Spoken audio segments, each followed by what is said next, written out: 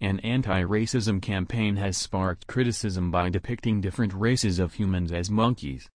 Serie A, Italy's top football division, commissioned Simone Fugazzotto, who is known for painting monkeys, to create artworks to tackle prejudice in the game. Football in Italy has suffered regular racist incidents on and off the pitch, including last month when striker Mario Balotelli was the subject of a racist remark by the president of his own club.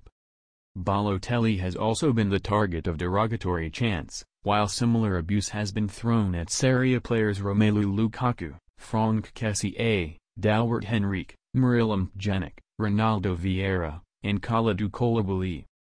The unveiling of the three monkeys, who the artist describes as a Western monkey, an Asian monkey and a black monkey, was met with incredulity. Fare, soccer's leading discrimination monitoring group, called it a sick joke. Serie side Roma, whose defender Chris Smalling criticized Corriere dello Sport's recent Black Friday headline to promote his reunion with ex-Manchester United teammate Lukaku, said it was surprised by the campaign.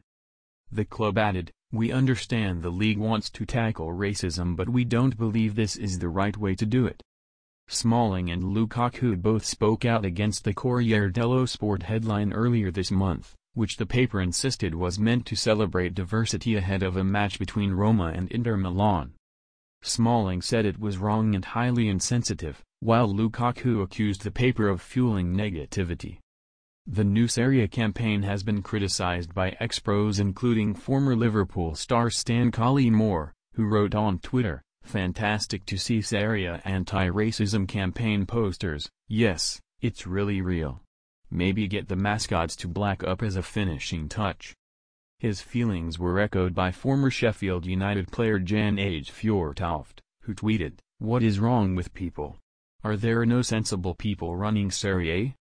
The artist said the intention behind the images was to turn the concept back on the racists, as we are all monkeys originally. Fugazzotto said, with this trio of paintings, I tried to show that we are all complex and fascinating creatures, who can be sad or happy, Catholic, Muslim or Buddhist, but at the end of the day, what decides who we are is not the color of our skin. He added, I only paint monkeys as a metaphor for human beings. We turn the concept back on the racists, as we are all monkeys originally.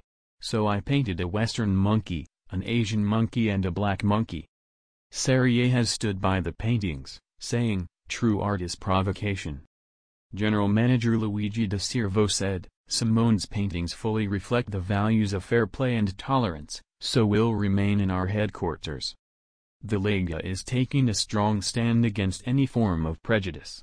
We realize racism is an endemic problem and very complex, so we are facing it on three fronts, cultural, via works of art such as Simone's paintings, sporting through a series of initiatives and players and clubs, and also repressive, thanks to the collaboration with the police. By acting on these three levels, we are sure that we can win the most important match against this plague that is ruining world's most beautiful sport.